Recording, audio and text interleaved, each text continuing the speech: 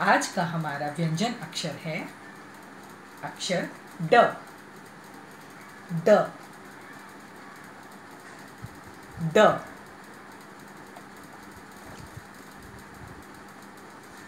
ड से डमरू।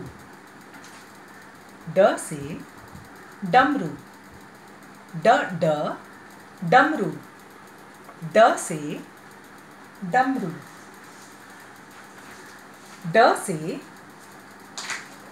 डाकिया ड से डाकिया ड से डाकिया डाकिया यानी पोस्टमैन जो चिट्ठी लेकर आता है। ड से डाकिया ड से ड्रम ड से ड्रम ड से डिब्बा ड से डिब्बा, ये जो ट्रेन होती है इसके पीछे, कई सारे डिब्बे होते हैं, एक के पीछे एक, उसको डिब्बा बोलते हैं, ट्रेन का डिब्बा। सो ड से डिब्बा, ड से डिब्बा।